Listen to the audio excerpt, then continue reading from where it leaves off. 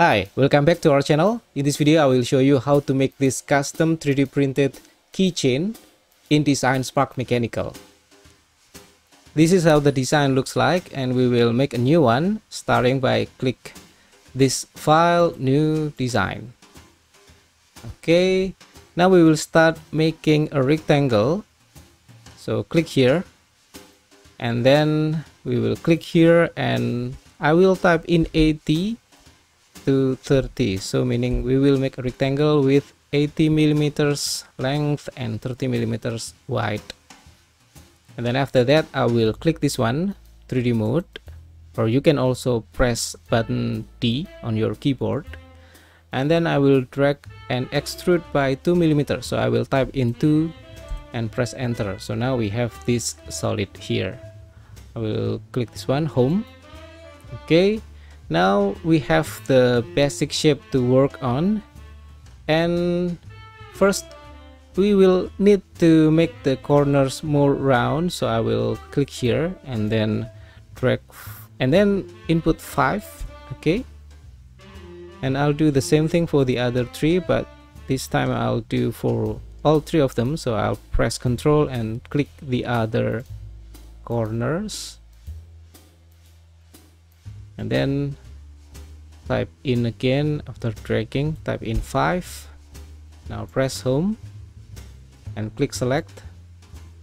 We have this shape now.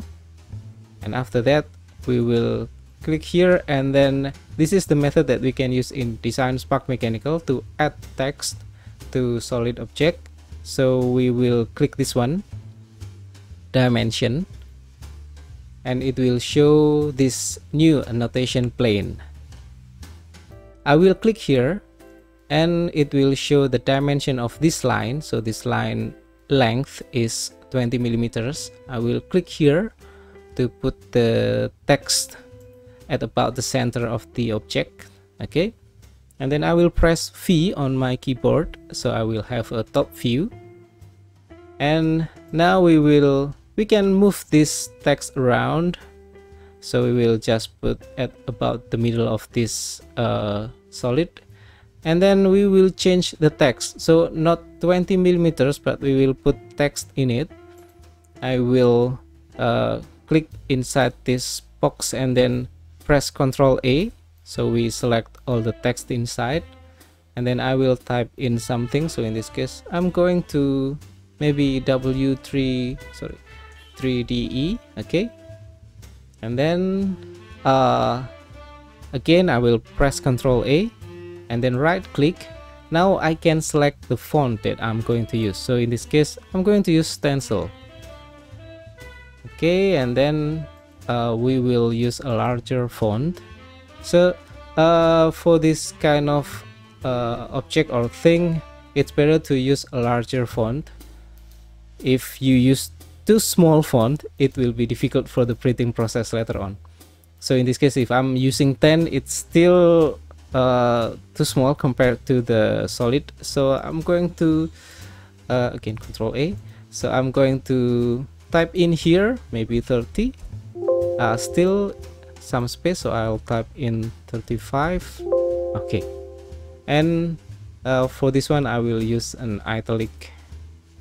Uh, yeah, like this and then I will click outside of this box okay? And then I'll click here again and then put or uh, position this text uh, maybe a bit to the right because I want to put a hole here for the chain okay? Now yes like this.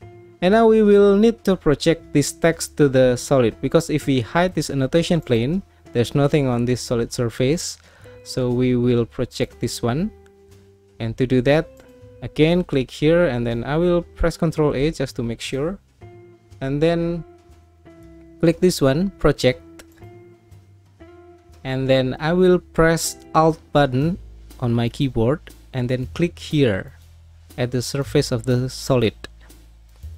And then it's going to turn a darker shade of blue after that you can click this one the complete icon.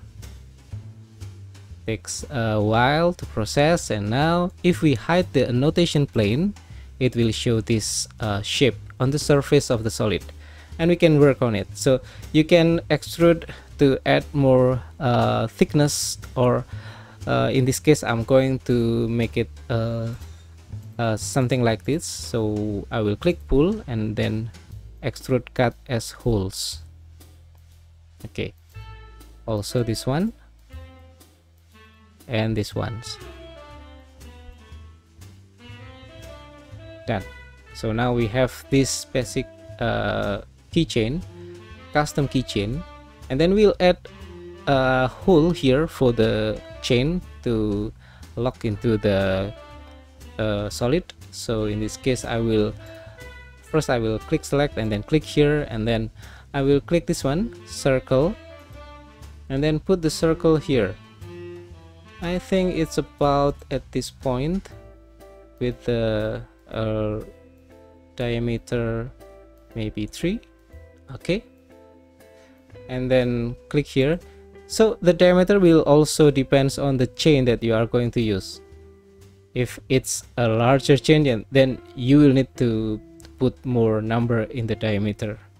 Okay I will click here and then uh, for this one I will uh, you can just drag and now we have the hole for the chain. Okay. That's all for now. I hope you enjoy this tutorial. Have fun and don't forget to subscribe. I'll see you again in the next video. Bye